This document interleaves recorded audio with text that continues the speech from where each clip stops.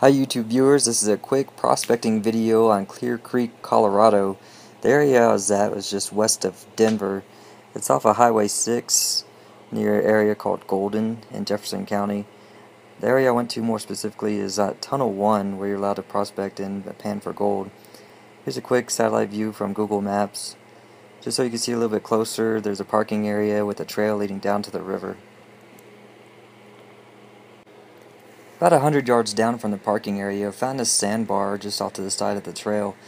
And this area would be covered underwater during a significant rainstorm or in the case of the floodings that we had last year.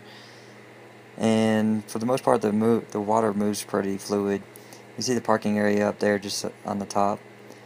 But on this area, specifically by the sandbar, the water would have a chance to calm or um, allow for the sand and gold to settle. So this boulder I found, I decided I'd give it a shot and see if I can find a little gold behind it.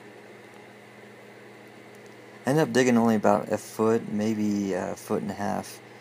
Here's a close-up of one pan I did, and you see a little gold speck there. And that speck at the bottom is uh, some kind of white-looking material. I don't know if it's lead or some other type of metal, but it's really heavy and it tended to stay with the uh, heavy black sand and other materials down there. I ended up finding a lot of those pieces uh, during my time over there. Try and get a little bit closer so you can see the speck, and there's some more other pieces in the sand. This was just a quick pan. I didn't really uh, separate the materials, but just so you could see what was in there. A few other uh, shiny pieces of glitter in there. Again, here's a quick shot of those uh, white specks that I found. I found a lot of these uh, little flakes. If anybody knows what they are, you can just comment below and let me know.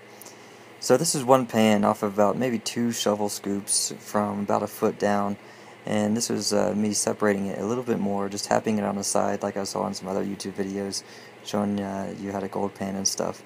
And from here I would just use my snuffer bottle and take out the quick gold and I put the rest of the black sand into a bucket so I could do it later.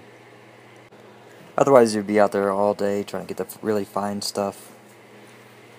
This is most of what I found. Again, only using my pan and then sucking up uh, using the snuffer bottle, the stuff that I showed you in the previous picture. Saving the black sand for later. So another area I tried was uh, right in the heart of Denver. It's off of 70th and Broad, which is another area that you're allowed to prospect and do some gold panning. Pretty sure you can take like a sluice box out there and stuff, but I don't have that. It's not too bad of a spot. Here I found some of these bigger flakes that you can see in this picture, but this is overall what I got after a couple days. So I hope you enjoyed the video. Check out Clear Creek. It's a cool place to find a little bit of gold if you have the time.